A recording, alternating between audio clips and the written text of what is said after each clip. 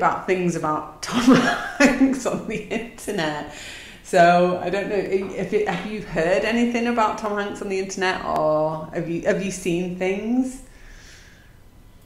I dropped the Burbs out of my list But because for of, that reason. because of yeah.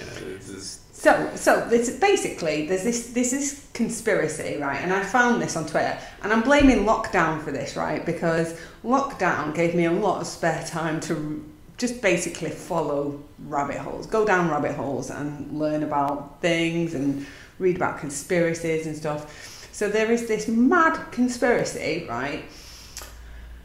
About Tom Hanks and various other Hollywood celebrities um, who are I'm trying to think of a way to word it who uh, fiddle with kids. Yeah.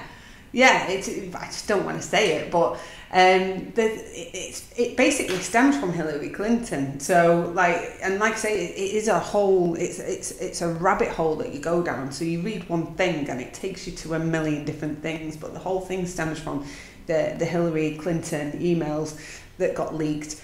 Um, and various celebrities getting pulled into this whole world of um, kind of yeah children being you know kidnapped and abused and all this sort of stuff so there's all this stuff and Tom Hanks's name is dropped into it and it kind of like it's like really weird because then if you if you look um, he's recently relocated to Greece and had become a Greece a, a, a Greek citizen hasn't he um, and there's all these celebrities at the moment that have kind of dropped off radar due to due to lockdown.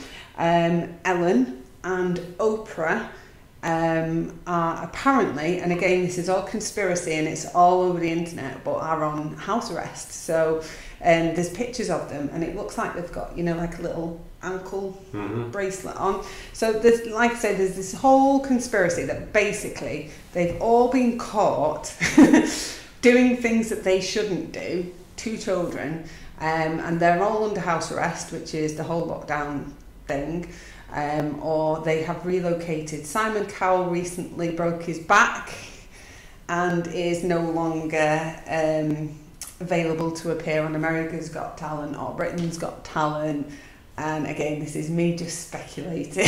um, and and there was there was a guy in Hollywood that kind of was a bit of a whistleblower, and he whistle blew on Tom Hanks and Hollywood producers and a few other names. Um, one of which is was Seth Green, and I absolutely Seth Green was like one of my favorite actors in the entire world.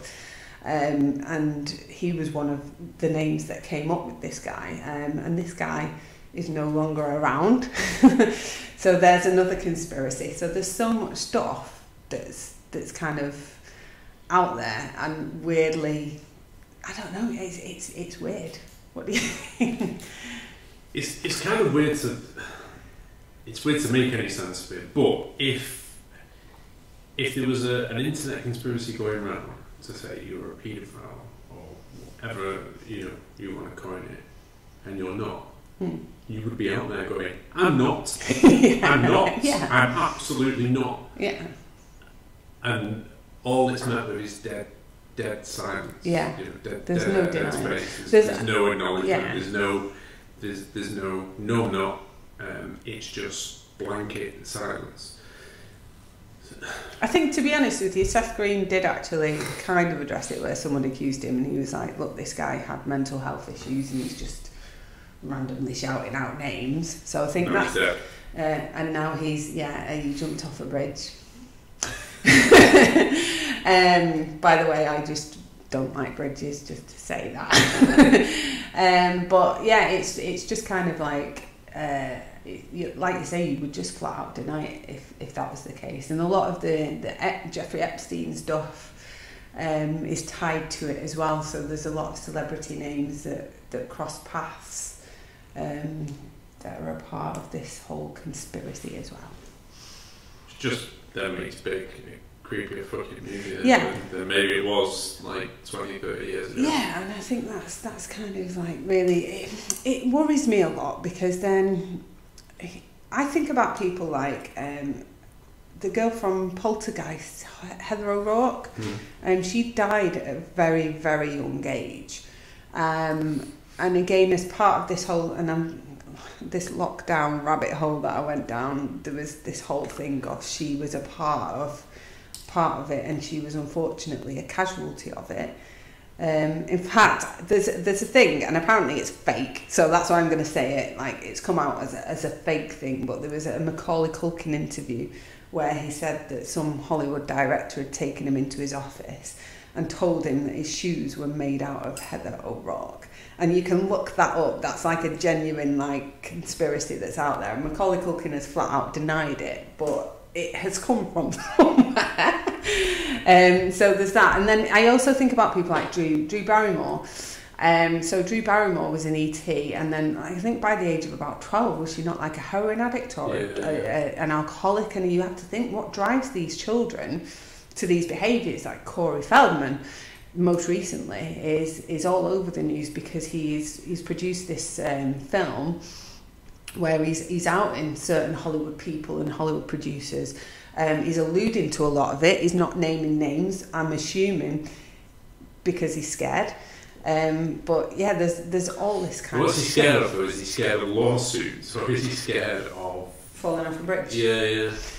Both, both. Um, you know, Corey Haim is, is no longer with us. What, what was the reasons behind that? You know, that it, there's there's a lot of there's a lot of children actors that have so many issues, and that has to have come from somewhere. So I think Harvey Weinstein's Me Too is the start of our revolution, but a lot of other stuff is going to start coming out.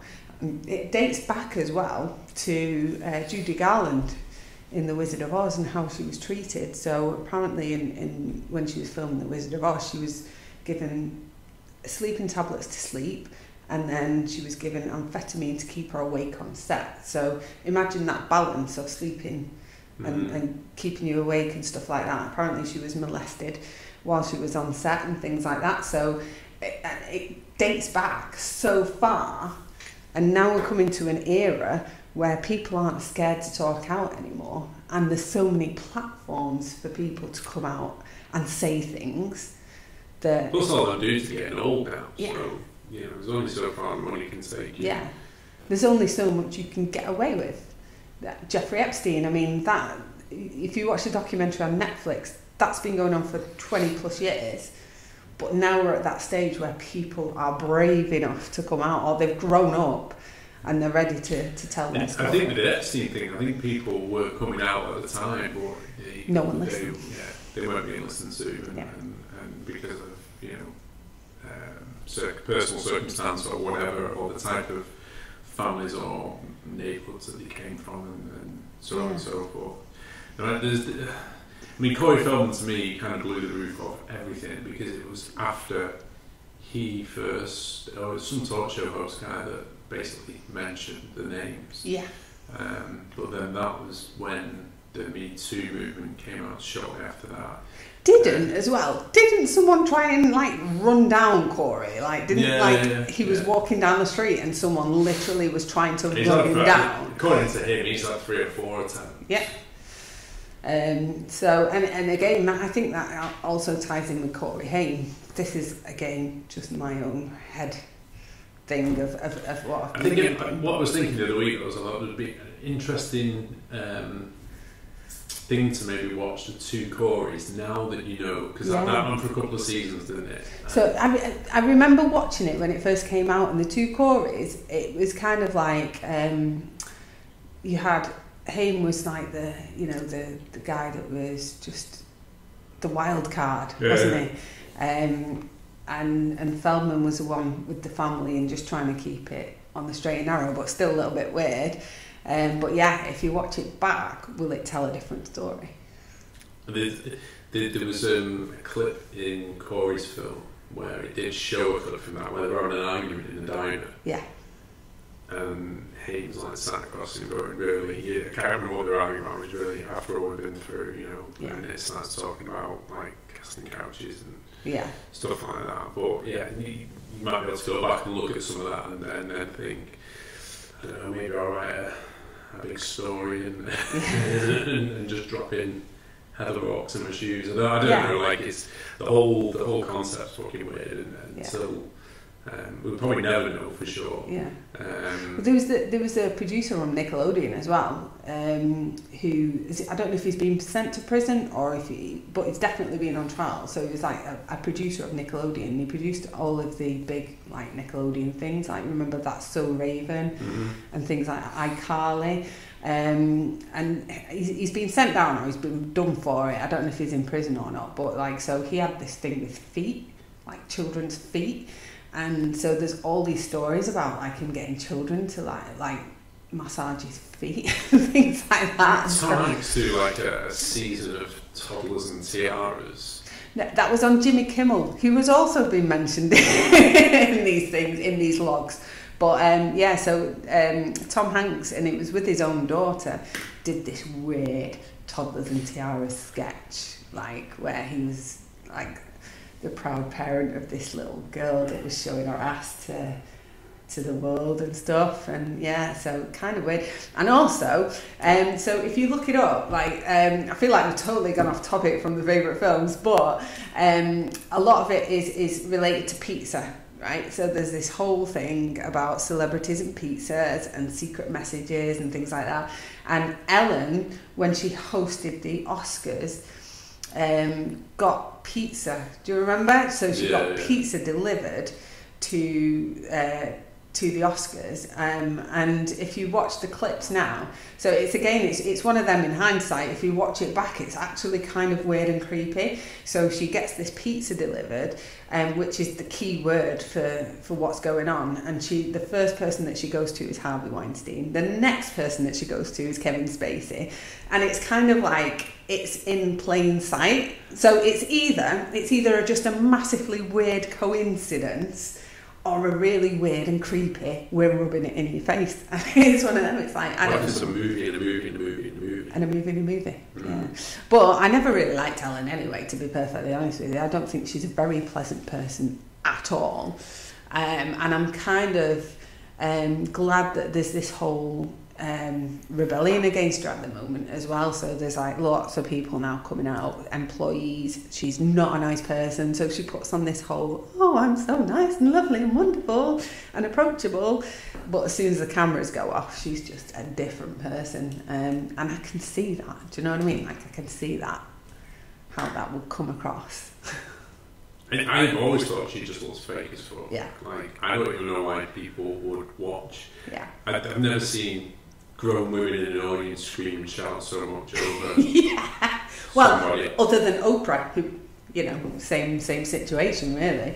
Um, I, I think I watched um, an episode of Ellen. I know it was maybe maybe a couple of years ago. I was at home for some reason, or I think might have been I think somewhere. yeah I think we were on holiday because I remember you saying to me, "Oh my like, god, what?" Is, Yeah. tripped out on something. Yeah. It was like they'd given the entire audience amphetamine or I think- something. I think they just give them free stuff so that they get excited, you know, so that they're pumped and ready to like. It was just, it it was just odd. It was like nobody gets that excited at three in the afternoon. Do you know what I mean? Like you've got to go and pick the kids up in an hour. And, and, uh, Um, but yeah, there, there was a story like there was an audience member that was like picked to, to participate in one of the shows, and um, when she was picked, the producer said, "Don't be funnier than Ellen. Do not be funnier than Ellen." it's like, what? Who says that? you have to try that. Hard, though. like I just got to stand there and not say anything because she ain't funny. Um, but yeah, there's, there's Right. like yeah, there's there's so many stories um, about like how she's.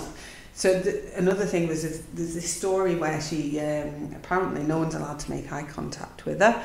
Um, there's a couple. Well, so you're not allowed to make eye contact. you turn to fucking stone. yeah, don't make eye contact with her and get sacked. And also, she, apparently, she has a bowl of mints outside her office because if you want to go in and speak to her, you have to have fresh breath. She doesn't like breath unless you've had a mint when you've gone in to see her. So there's that. But then um, she apparently she held a meeting, a Zoom meeting with all of the team after all these allegations, and she was saying to them, "What? This whole eye contact thing is ridiculous. If you see me and you want to say hi, say hi." And I was just thinking, surely. You've been there for like years and years, no one's making eye contact. If you're genuinely a nice person, would you not think, is no one looking at me? you'd be like, why are you not looking at me? Why are you not making eye contact? A, a normal person would think that, right? or is that just me? Just a fucking weirdo. Like, just. I think it's blatantly obvious. I think I think all the humour's forced humour. Yeah. I think people are forced to laugh at stuff. I don't know why she was famous in the first place. I don't know how she got a sitcom. That wasn't funny.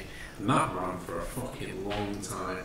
Um, it, it was it was the whole thing's just shite. Yes. Just I don't I don't get why anyone would want to watch it yeah. at all. You know, it's like kind of putting fucking Mrs. Brown Boys on in the same sort of scenario. Someone watches it. Yeah. I know that, but that's they're, they're the people I don't get. Like Yeah. I don't understand it. I don't. I, yeah, I don't know. I know. so yeah, we have deviated a little bit from uh, from the favourite films, um, but yeah, just to say that Big was one of my favourite films, but now because of this whole, you know, pizza thing, um, and uh, like I just think it's weird that he's, he's gone to Greece. It's just it, it's just one of them. It's like it just makes no sense. Anyway, so it kind of puts me off. And like you said, was the Burbs in yours? Um, Yeah, and then I don't know if it was like in kind of the top five, but it was in hon- honourable mentions. Yeah. And I think sometimes with, with certain actors, Ellen's probably definitely one of them. Like, you know, obviously she's not a movie person, but actors go through these weird sort of cycles and changes, and you can see that sometimes with, with people. And certainly, I think you see it in the late years of Tom Hanks yeah. um, where he almost just becomes we're just going to put this guy in in anything and it'll make people go and watch it. Yeah. You know, I think when you get to that sort of level, not that it, it then becomes less about the acting ability Yeah. because his acting ability is brilliant. But I, I mean, I'm not a massive fan of Tom Hanks. Like, I, you, you put Tom Hanks on at the cinema, I wouldn't, wouldn't necessarily go and watch it. I never liked things like Forrest Gump. Mhm. They're not for me. You know, I think I watched Private Ryan two or three times. Mhm. That was a good film, but it, again, it, it wasn't Tom Hanks that made that. It was the way it was directed. There's another film that people say their favourite as well, like Saving Private Ryan. It's like again, I've seen it once, but um, Definitely seen that more than once, but again, it's not a film that I just put on. I don't. Yeah. You know. um, and I was going to say just to like you know add fuel to the the conspiracies. Just look at his reaction to Ricky Gervais at the Golden Globes. just watch Ricky Gervais at the Golden Globes. Now you've heard what we've said. And watch his reaction, and then you know go from there. But actually, I was a huge fan of Tom Tom Hanks in like kind of the early. I early thought Spielberg's reaction was bad. what was his reaction? I can't. Go back and watch it. There's another thing, Indiana Jones. So in Indiana Jones, the, Oh, um, yeah. the it makes makes sort of Marion, doesn't it? If you, if you do the math, when she's talking about like a relationship with, Yeah. with Jones, And she says, "I was a child, and you knew it was wrong." Yeah, But you just again, is it hiding in plain sight, or is it just an oversight? We don't. I think the explanation for Indiana Jones is it's set in like the nineteen, uh, what is it, like forties or some, Yeah. something along the fifties, Yeah. late early fifties, But late still- forties. Still, even when it's set, there's certain things you stay away from in the modern day, uh, and I would say probably maybe that's one of them. But I don't know. It's a bit weird. Yeah. So yeah, Golden Globes is definitely one to, to reference and have a look at it, and uh, just whatever Ricky Gervais puts on Twitter really. And he put on recently, didn't he? He was like, "Please nominate me for an Emmy unless you're a pedo." To be fair, Family Guy and stuff have been, been poking fun for years. Yeah, You know, so there's, there's people out there that know, and these are probably.